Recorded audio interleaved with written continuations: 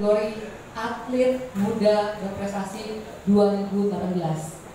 Kriteria yang diambil untuk kategori ini adalah bukan banyaknya juara yang diambil atau diraih, tetapi lebih kepada level kejuaraan tertinggi yang diraih oleh atlet itu, maka mereka yang akan keluar menjadi atau yang akan diberi penghargaan 2018. Dan sekarang siapakah peraih penghargaan atlet muda PB Jarum yang berprestasi di 2018? Kita saksikan tayangannya ini. 5, 4, 3, 2, 1.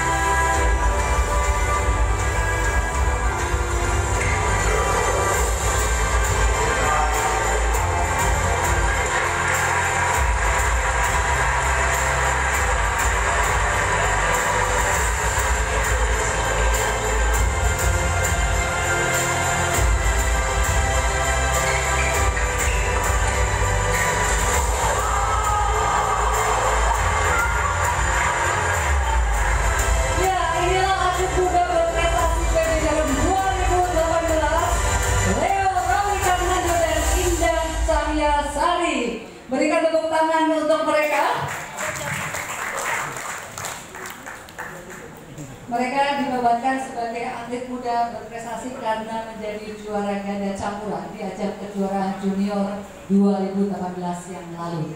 Dan sekarang kami panggilkan Leo dan Indah untuk bisa maju ke depan. Dan juga tentunya sekarang kami panggilkan Bapak Afif Budiono selaku marketing bisa maju ke depan dan memberikan penghargaan ini. Indah dan Leo mau untuk bisa maju ke depan.